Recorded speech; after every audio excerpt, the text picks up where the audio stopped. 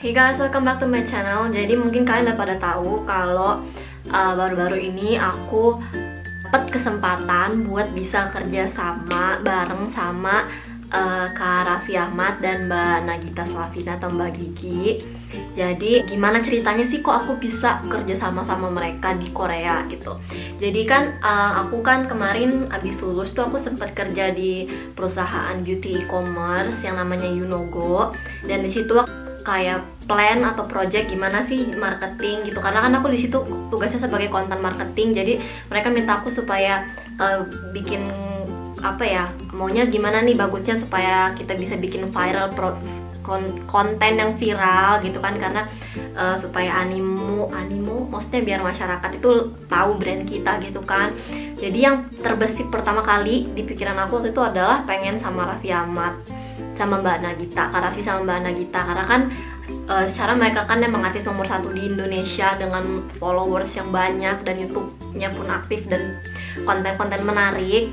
Dan itu tuh kayak mimpi doang gitu loh kayak oh my god gue baru lulus anak baru. Istilahnya nggak mungkin banget tuh kan bisa gitu kan.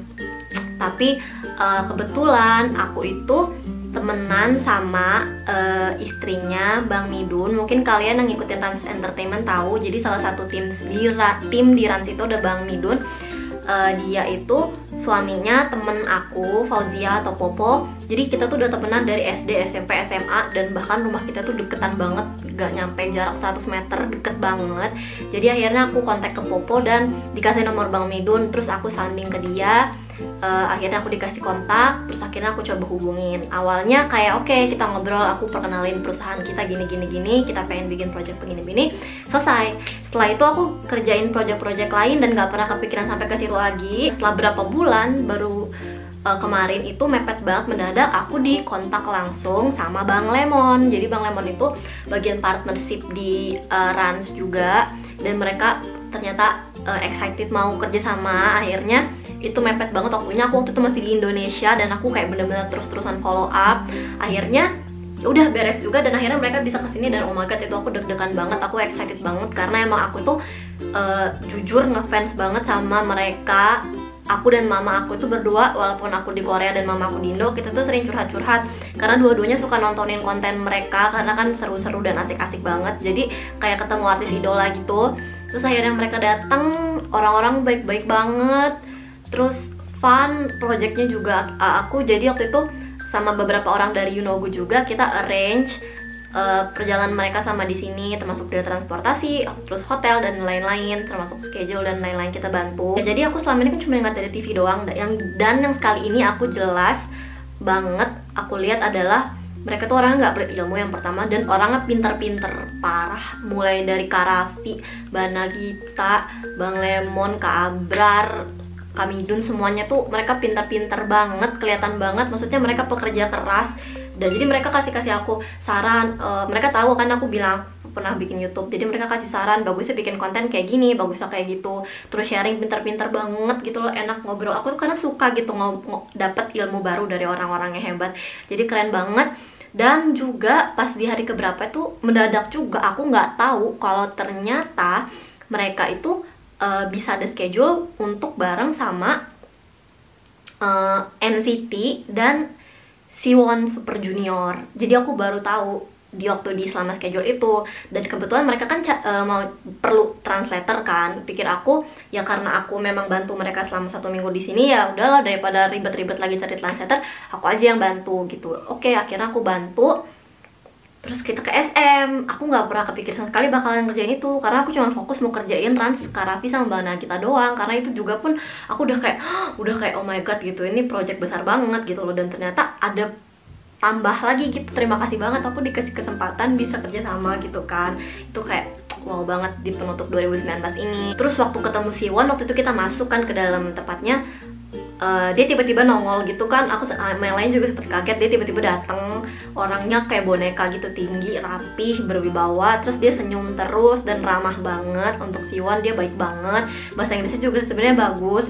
Tapi kenapa waktu di bagian Siwon aku nggak sempat nongol? Karena di situ aku bantuin Rans pegang sound. Aku pertama kali sih itu pegang sound yang buat kayak di TV-TV itu pertama kali.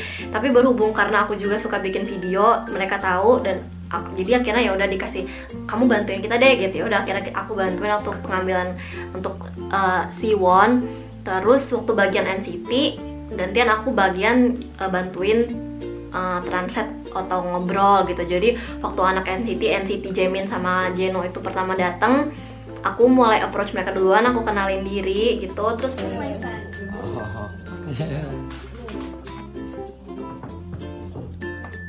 Jamin and Jeno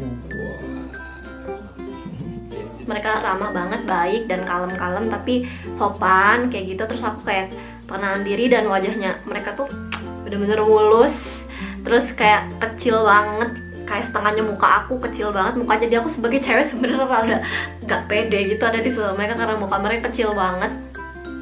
Terus akhirnya ya udah terus uh, waktu bikin konten juga seru Kak sama Mbak Nagitanya uh, semangat banget bikin kontennya anak-anak NCT-nya juga dan aku walaupun sempat ada beberapa kesalahan kayak misalnya karena kan sebenarnya aku bukan profesional bukan penerjemah atau translator profesional. Jadi itu sebenarnya pekerjaan dadakan gitu kan. Kebetulan aku orang Indonesia dan dalam tinggal di Korea dan bisa bahasa Korea jadi aku bantu gitu. Jadi aku bukan profesional makanya sebenarnya ada beberapa kesalahan teknis gitu. Cuman akhirnya ya udah dan mereka untungnya uh, ngertiin gitu kan.